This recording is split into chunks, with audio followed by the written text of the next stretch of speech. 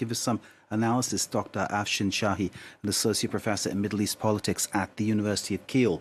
Uh, that's in Staffordshire in uh, central uh, England. Uh, Dr. Shahi, thank you very much for being with us. I know there's, there's much to discuss and much to say uh, on this matter. And of course, we know the death toll now is over 12,000, and sadly, that is set to rise.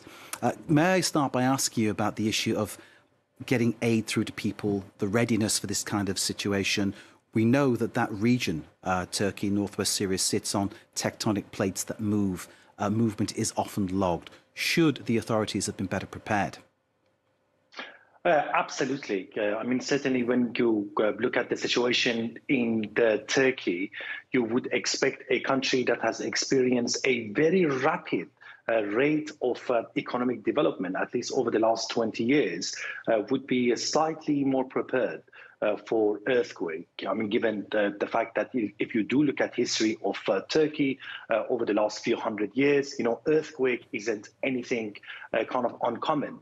Uh, in the, in that country. But if you don't mind, let me kind of shift my focus a little bit uh, to to Syria, because at least despite the shortcomings in Turkey, there is an international coordinated plan to do something in that region and to rescue people. But when you cross the border, you see completely uh, a different uh, reality. Of course, an earthquake of this magnitude within any uh, urban uh, the, the, kind of environment would be absolutely uh, disastrous. But you only have to imagine you're dealing with a region, you're dealing with a country that has gone through one of the worst civil wars in the, in the living uh, memory. The existing infrastructure is effectively battered beyond uh, recognition. Even uh, before the earthquake, this specific earthquake in cities like Aleppo because of the war and numbers of uh, uh, kind of other problems like siege and bombardment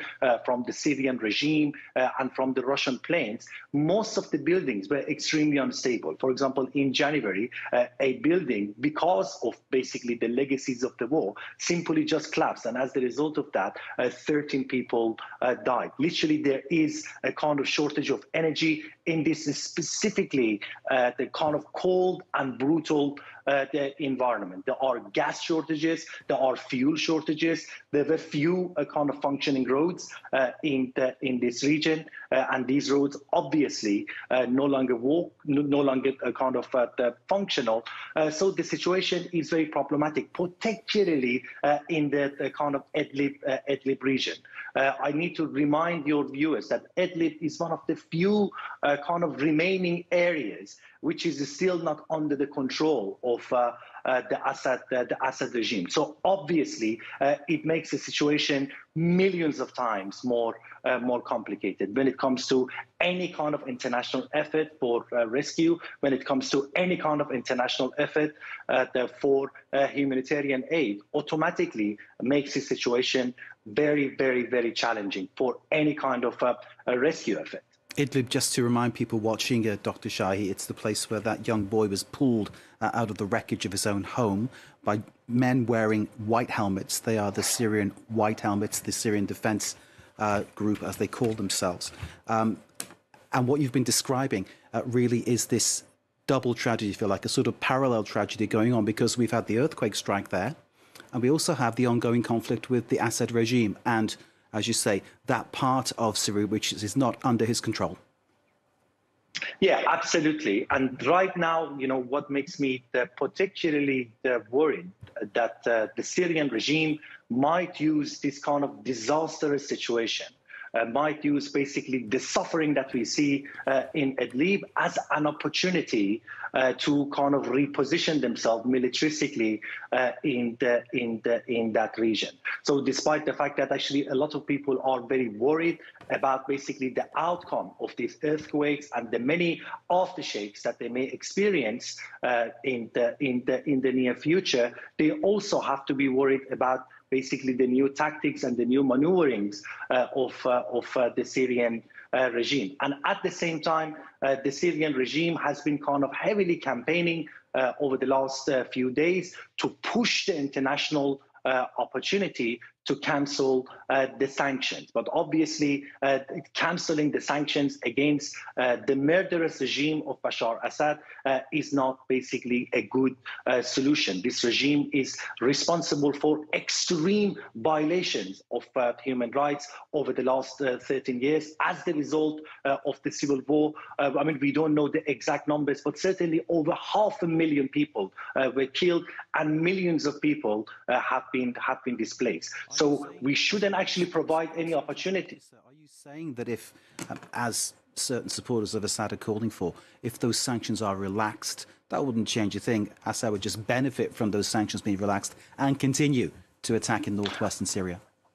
Absolutely. I mean, the, the way I look at it is that the Syrian regime is looking at this disastrous situation as blessing in the, in disguise. As I said, they may use this opportunity to militaristically reposition themselves in that region, and that can pave the way to a lot of other uh, kind of suffering uh, and bloodshed. And at the same time, they may be able to get some unnecessary concession because I certainly believe that cancellation of any of these uh, kind of European uh, sanctions is not going to have any meaningful impact on the situation uh, on the ground. It's only going to uh, empower uh, kind of the Syrian regime. But I suppose the ultimate question is here, how can we provide some humanitarian aid to the people who are affected in this region? There are millions of refugees uh, in, the, in this region. Effectively, we are talking about one of the most impoverished areas in, the, in the world. Um, the majority of people living in these kind of unfit